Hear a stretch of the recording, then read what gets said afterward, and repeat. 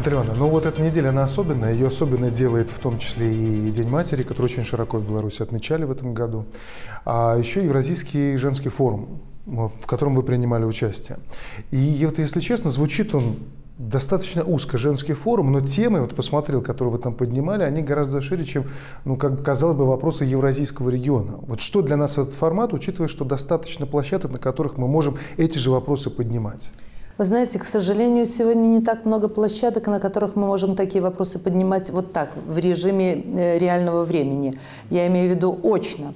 Потому что вот мы, парламентарии и члены Совета Республики, много обращались к своим коллегам, дабы они нас услышали о происходящем в нашей стране. Ну, не очень хотят слышать, да? А вот эта площадка, она великолепная, на мой взгляд. А, вы знаете, мне так довелось в 2015 году быть на первом Евразийском форуме в Санкт-Петербурге. Это инициатива Валентины Ивановны Матвиенко. И сегодня это уже практически глобальное такое женское движение. А нынешний это уже третий? А это уже третий форум, да, а, куда приезжает большое количество участников, участниц этого э, мероприятия. А, в этом году это 110 стран это представители э, из всех регионов нашей планеты. И вы знаете, всегда получается достаточно открытый, честный разговор. И я вам хочу сказать, что там, понимаете, мы чувствуем себя действительно подругами. Валентина Ивановна в своем обращении сказала, а проще, скажем, так как мы уже научились говорить, подруги. И вы знаете, это действительно так когда мы находим общий язык в тех проблемах, которые волнуют сегодня ну, представительниц разных стран. Я была довольна тем, что мне пришлось выступить на пленарном открытии этого форума, женского форума, и довести э, ту информацию о нашей стране, которую я хотела бы, чтобы услышали женщины из всех стран мира. О санкциях говорили? Говорили. Э, там нет тем, которые бы не затрагивались женщинами всего мира. Потому что вы видите, что ситуация в разных странах очень разная. И сегодня нас, женщин, не может не беспокоить то, что, к сожалению, очень много горячих точек появляется э, на планете Земля. Там, где есть неравноправие, там, где используется детский труд, там, где попираются права женщин, э, гендерное неравенство. И об этом говорят женщины. Говорят серьезно, говорят громко и об этом заявляют на весь мир. В 2015 году был первый форум, и, наверное, должны уходить какие-то проблемы. А всякий раз появляются новые вызовы и угрозы, которые беспокоят нас, женщин. А женщина – это ну, тот это хранительница очага, это мать. Человек, который должен переживать за все, потому что ты всякий раз пропускаешь через себя все проблемы, которые есть. И там, где люди голодают, и где сегодня идет война, и погибают дети, и женщины, мирные люди. И, конечно, э, пропуская через себя вот эти все проблемы, ты всякий раз задумаешься о том, что самое главное в жизни для каждого человека. И понимаешь, что мир и спокойствие – это самое важное. И, конечно, реализация тех возможностей, которые сегодня есть у нас в стране, ну, мы по праву можем этим гордиться. Да, если все-таки продолжать тему санкций, она действительно такая всеобъемлющая, и мы понимаем, что нет сегодня какого-то одного государства, против которого эти режимы работают, режимы, режимы санкционные. А с точки зрения уже непосредственно законотворчества, у нас есть что сегодня противопоставить или ответить западным вот даже не знаю, партнером, наверное, уже не партнеры, но и врагами еще не назовешь. Мы понимаем, что мы должны э, работать на опережение. Вообще законопроекты, конечно, они должны быть сегодняшнего дня, то по каким законам живет наша страна. Наше государство правовое, и про это написано в основном законе нашей страны Конституции. Но вместе с тем мы понимаем, что мы должны видеть, какие законопроекты нам еще надо будут, какие вопросы не урегулированы законодательно. И, конечно, мы должны учитывать все реалии современности, несомненно. А мониторить ту ситуацию, которая происходит в мире, э, видеть, что происходит внутри нашей страны и принимать абсолютно адекватные э, законопроекты, которые будут просто нужны для нашего народа, для нашей страны.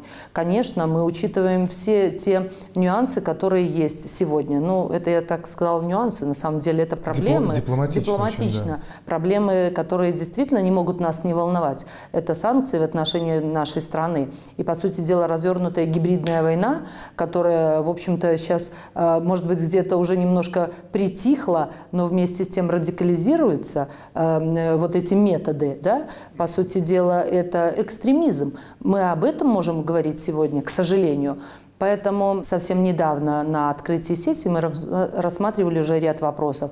И одно из них – это приостановление действия соглашения между Беларусью и Евросоюзом о реадмиссии лиц, э, не имеющих гражданства. Потому что мы понимаем, что это вот сегодня то, на чем хотят сделать и обвинить опять в чем-то Беларусь. И вот сейчас подготовлены внесение дополнений, изменений в Уголовный кодекс от ответственности за призывы к санкциям. Это тоже мы будем рассматривать это самым серьезным образом, потому что э, ну, это безобразие, когда люди призывают к санкциям, э, бывшие наши соотечественники, э, понимая, что эти санкции будут направлены против каждого человека в нашей стране. Что Трудовые коллективы. Вы понимаете, это не поддается вообще да. никакому осмыслению и человеческому разуму. Ну, на мой взгляд, это просто безумство какое-то. Поэтому, конечно, это, за это должны нести ответственность люди, которые призывают э, к санкциям против своего же народа, против своей страны.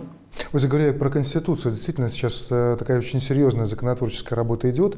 И в первую очередь, конечно же, подготовка к э, сначала обсуждению, а потом принятию новой Конституции. Вот как вы видите этот процесс? Мы не первый год уже говорим, говорили про это, что да, действительно, время идет, меняются многие подходы э, и в реалиях нашей жизни. И, конечно, работа над основным э, законом нашей страны, Конституцией, это не тема вот прямо вот, которая возникла вдруг как-то так в, прошлом году.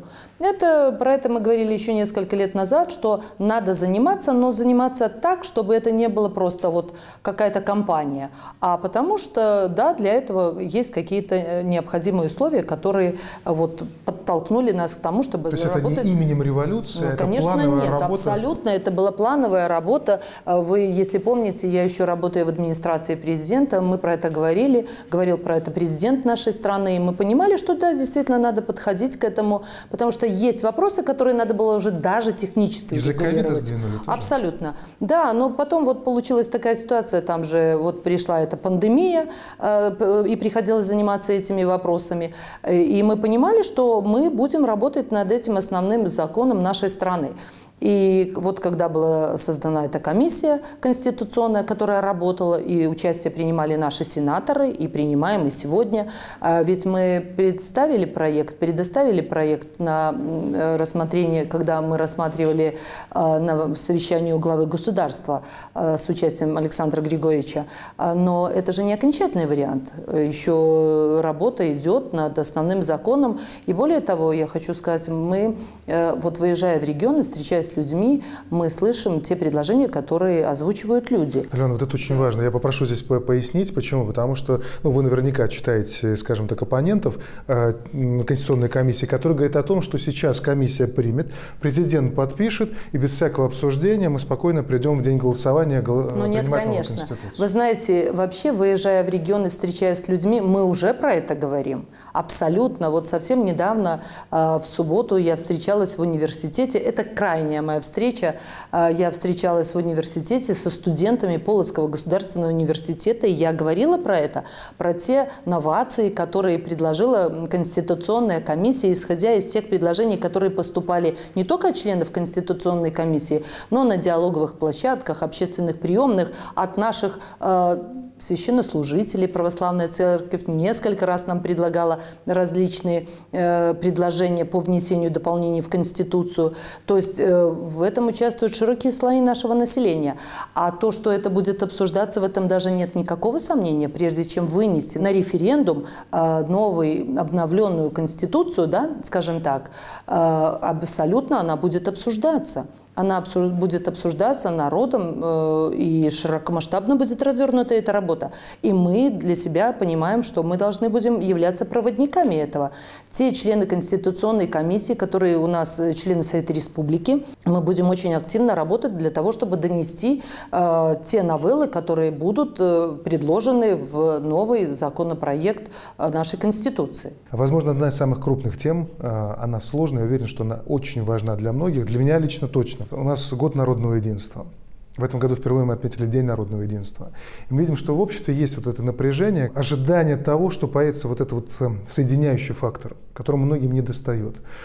Вот в этом смысле, на ваш взгляд, вот что бы могло стать таким цементирующим фактором, потому что задачи большие, во-первых, страна развивается, во-вторых, принятие Конституции требует консолидации общества. Вот чего не хватает? Вы знаете, э, с одной стороны, очень просто ответить на ваш вопрос, с другой стороны, он э, достаточно философский. А для каждого, наверное, понятие объединения, единения, может быть, воспринимается по-разному, я так думаю. А, но мне видится, что в нашей стране а вообще достичь этого э, не так сложно на самом деле. Объясню почему. Вы знаете, стоит задуматься о нашей истории – вот просто посмотреть на историю своей страны. Вот вы сказали про День народного единства, да, и про праздник, который мы отмечали сентября. 17 сентября. Вот сто лет назад, да, когда нас разорвали тогда по-живому, да, нашу страну, э, Беларусь разорвали по-живому, потом Вторая мировая война. Все то, что происходило э, на протяжении вот пусть этого столетия даже с нашей страной. И когда ты вот это все проникнешься этим, историей своей страны, ты будешь четко понимать, что береги то, что у тебя есть. Это первое. Второе. Мне кажется, наши люди достаточно разумны, белорусы мудрые люди. Как бы мы тут сегодня кто-то не говорил о том, что мы разные. Конечно, разные. Но по большому счету разум всегда должен восторжествовать. И мы должны для себя определить основные приоритеты в своей жизни – мы можем сказать, э, кому-то материальные блага прежде всего, кто-то в профессии, кто-то в семье, но основное у нас должно быть – это любовь к своей стране, к своей родине, к своей семье. И вот это скрепы, которые должны объединять нас. Ведь ну, не может быть такого сегодня, э, скажите, вы против или я э, против того, чтобы в нашей стране был мир – Конечно, нет. Пример Афганистан, пример многие другие, Сирия, э, точки планеты, горячие точки, где э, сегодня ну, невозможно просто жить, не говоря о том, что уже там учиться, приобретать какую-то специальность, работать или еще что-то.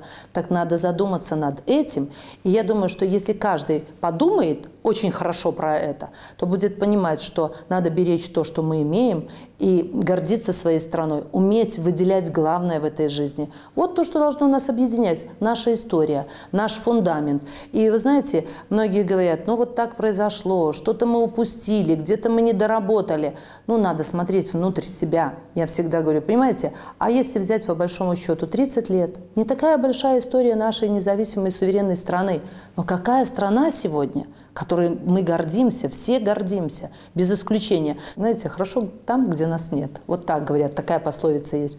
Поэтому, конечно, вот единение, вот то, что нас должна объединять, наша славная история и то, что мы сделали за эти годы. Это очень важно. Наш народ все это прекрасно понимает. И мы должны ценить, ценить э, мир, спокойствие и те возможности, которые есть сегодня у нас, у каждого для реализации в своей родной стране, на своей родной земле.